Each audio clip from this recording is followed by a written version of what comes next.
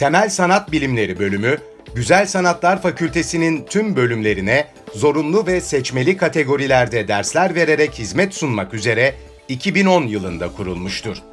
Bölüm, sanat kavramları, sanat tarihi, estetik, sanat felsefesi, sanat psikolojisi, sanat sosyolojisi, sanat yapıtları analizi, mitoloji ve ikonografi gibi sanata temel teşkil eden kuramsal derslerin okutulduğu sanat bilimleri ana bilim dalı ve temel desen eğitimi, temel sanat eğitimi, temel tasarım gibi derslerin verildiği temel sanat eğitimi ana sanat dalı olmak üzere iki ana dal halinde yapılandırılmıştır.